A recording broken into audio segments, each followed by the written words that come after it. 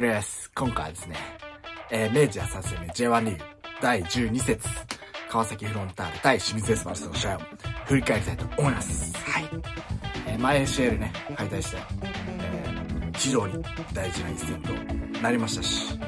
えー、なおかつ、えー、長期離脱者が3名発表されたので、まあ、いろんな意味で、うん、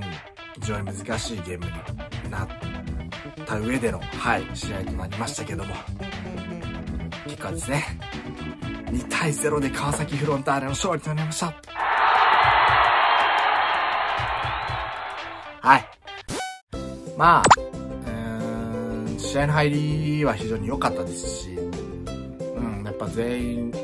足を動かすことができていて、で、なおかつ攻守の切り替えも非常に早く、うん、まあ今シーズンはね、あまりうまくいってなかった、ポゼッションの部分も非常に効率効率のいいというか効果的なポゼッポゼッションができていましたし、うん、非常にいい中でスタートしてで前半ね非常に素晴らしい形でね前半14分、えー、遠野選手からダミアン選手に当ててそこで胸で落としてで脇坂選手家長選手で最後脇坂選手にニアウェイズドームと。いうことで先生という形で非常にね素晴らしい形での先生で。でその直後にまた、えーと、脇坂選手のクロスから、えーと、逆サイドのマルシーノ選手のダイブゲットが決まってこれで2対0となってまあこれで非常にまあフロンターレチも楽になったし、まあ、清水の方も、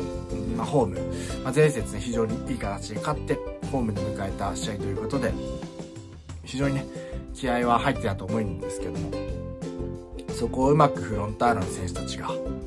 えー、プレスを剥がしつつ前進していってやっぱチャンスを作っていったとい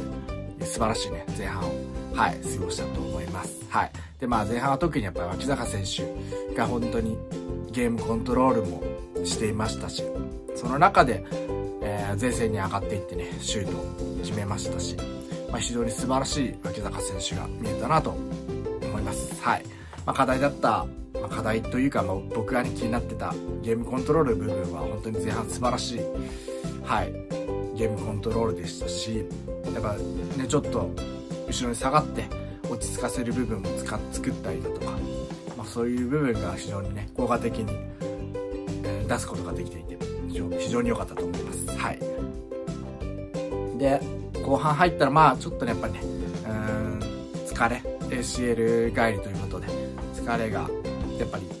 徐々に出てきていて。でなおかつま 2, 2対0でね勝っていたということもあってやはりあまり前から行かずにある程度うんまあリトリートまではいかないですけどセットした中での守備を基本的にそこから奪ってカウンターという形に出て。うんまあ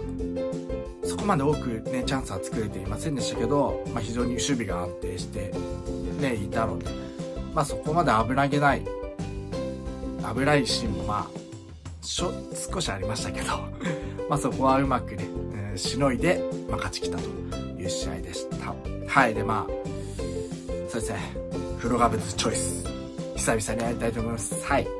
でまあこの服うんこの試合に関してはまあ脇坂選手かな、脇坂選手、まあ、さっきも言いましたけどゲームコントロールの部分でね非常に長けていましたしでなおかつ攻守の切り替えも早くて結構プレスもね早くいってましたし、まあ、立花選手も非常に素晴らしかったんですけど、まあ、中盤の3枚非常に3枚ともね、えー、上下動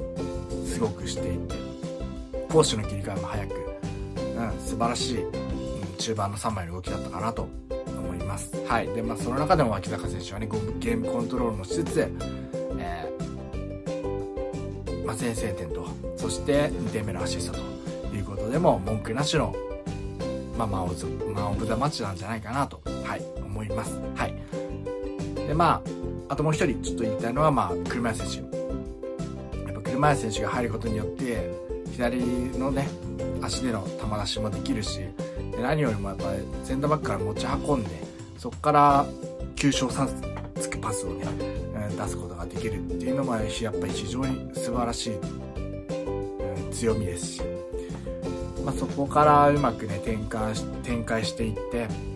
でチャンスも作ったりだとか、まあ、逃げ道も非常にね車選手作るのうまうまいですし。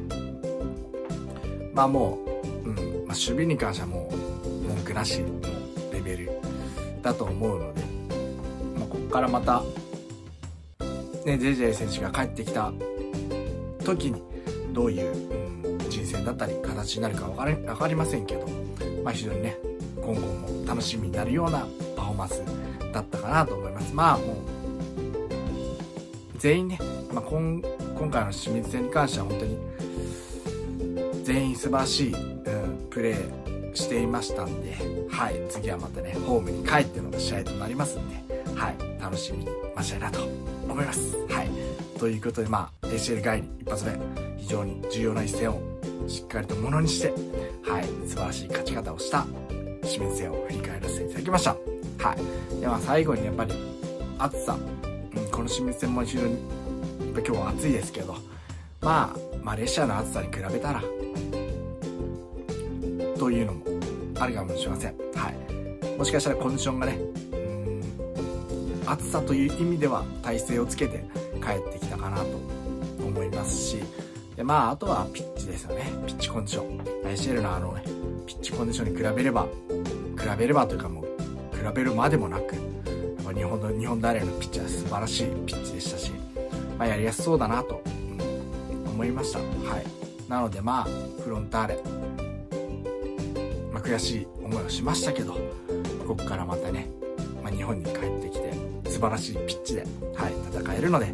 はい、もう皆さん、お伝えしましょう。うん。もう ACL はもう悔しいですけど、まあ、来年またね、挑戦権を得るために、今シーズン3連覇、そして天皇杯、ルヴァンカップと、国内全てのタイトルをね、取ってもらいましょう。はい、ということで、それを楽しみにね、また、ここから、フロンターレ、サポーター、フロンターレファミリー全員でね、はい、こっからのフロンターレを楽しんでいきたいなと思います。はい。ということで、今回は以上になります。はい。最後まで見ていただいてありがとうございます。また次の動画もよろしくお願いします。それでは、ありがとうございました。バイバイワッキー最高